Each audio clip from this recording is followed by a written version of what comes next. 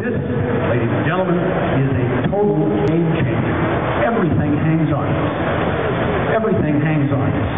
We can't afford to put this off two years because the situation may change. We have no idea what's going to happen. What we've got is a battle that's right in front of us right now, and we can win.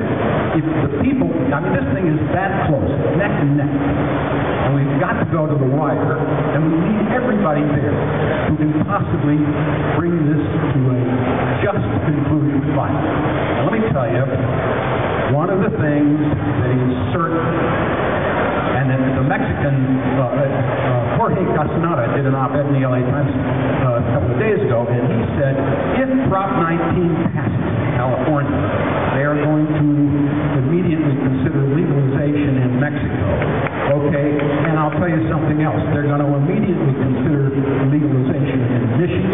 and uh, Arizona and all of the other states where we now have medical marijuana patients who are interested in spite of the fact that we have achieved these breakthroughs legally.